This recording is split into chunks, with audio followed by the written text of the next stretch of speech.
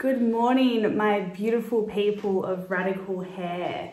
Um, I just wanted to post up a video today, um, just going over some of the policies and procedures that we did post up yesterday. So I just want to make it um, aware that obviously we are trying to do what's best. Um, this situation that we're going through during this pandemic is something that we have never ever experienced before as people and as businesses.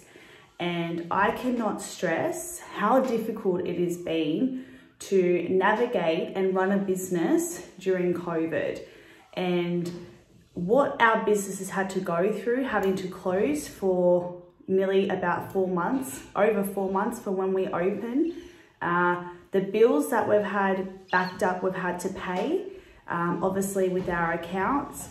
We've obviously had to mentor and look after staff as well and keep things flowing and aligned um, with how we want to kind of go forward.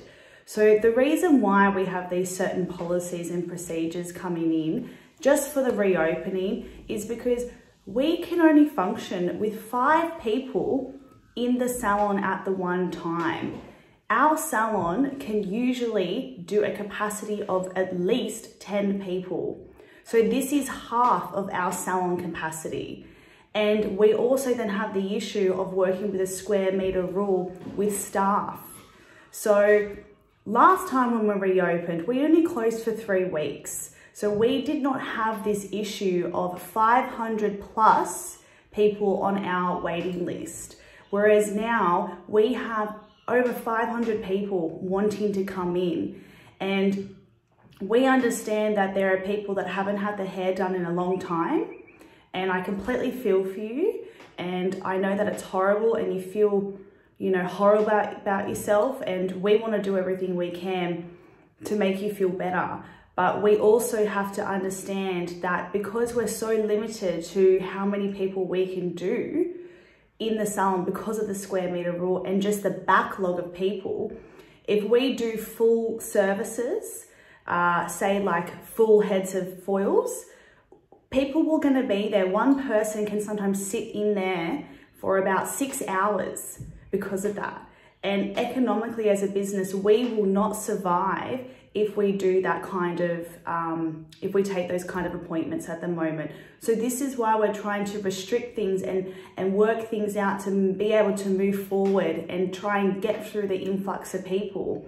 Um, we understand that hair color is so important, but there are so many people that want to come in. If we do everything that people would normally usually get in a normal time frame in a normal world, um, post, you know, COVID going away, we could. But right now we're in a pandemic. Things are changing. Our community and societies are now segregated because of a vaccine. Who would have thought that this happened? I would never have thought, Lawrence, Gina and I would never have thought that our business would have to close for over four and a half months. Um, and so this is just where we have to, we, things are changing. We're getting emails from our suppliers saying that things are going up. Um, we've had to pay rent during this time. And, you know, we're just trying to do the best we can to be able to move forward to make our business still survive and also give clients a fair shot of getting in. And this is just why we're doing it. And when we have cancellation fees and deposits, it's because we're going to have so many people that want to come in. If someone cancels last minute, that's then taken away from someone who would have come in and would have been um, wanting to get their hair done and enjoying the service from us. So these policies and procedures won't be in all the time.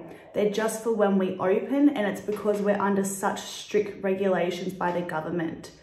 Um, so please understand from our business how hard it's been for us and how we're just trying to navigate through this. And we've spoken to lots and lots of other businesses about what they're doing and lots of salons are doing the same thing. And it's just going to be a difficult time to navigate through so please just understand that. And uh, you know we all can't wait to see you in the salon. We are so excited to get back to what we're doing.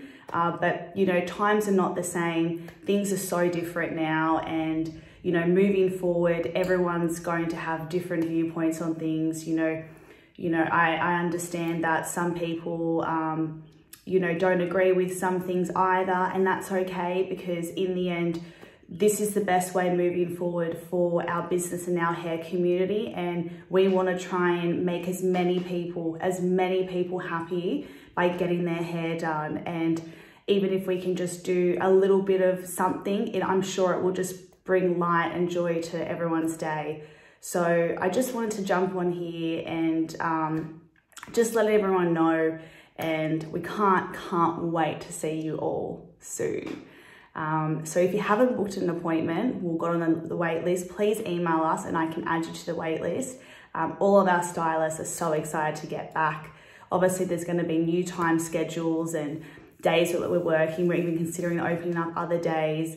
Um, so we're, we're, we're trying to do all we can to accommodate everyone in our beautiful hair community and just even having a wait list of over 500 people has brought tears to Lawrence, Gina and I's eyes because we, people want to see us, people want to come back to our business.